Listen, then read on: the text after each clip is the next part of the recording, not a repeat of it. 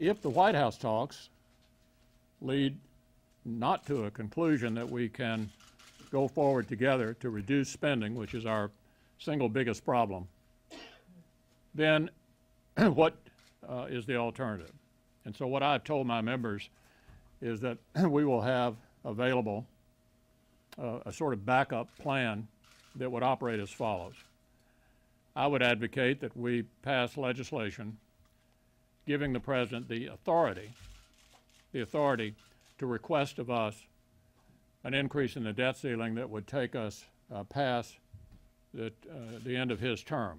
That is what he has said. He said he will not sign a debt ceiling that does not take us past the end of his term. In this legislation, if it were to pass, he would make three separate requests of us. The first request would be initiated by passing the legislation in the next few weeks. He would send up a request of us to raise the debt ceiling probably by $700 billion. That would be subject to a resolution of disapproval. If you're thinking of an analogy, think of the Congressional Review Act. That resolution of disapproval, if passed, would then go to the president. He could sign it or he could veto it. Presumably, he would veto it.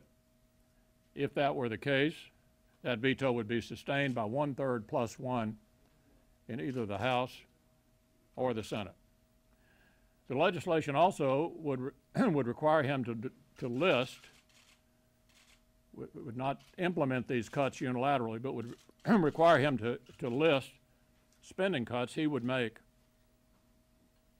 in the same amount as the debt ceiling request he's making of us. Then there would be a second request based upon his desire to have enough debt ceiling to get him through the end of his term. There'd be a second request in all likelihood in the fall.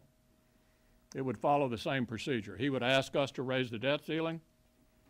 I think it's highly likely that both houses would consider and probably pass resolutions of disapproval, which, if they passed, he would veto, and those uh, uh, resolutions would be sustained. They'd be over, his veto would be sustained by one third plus one. That would go happen one more time in June.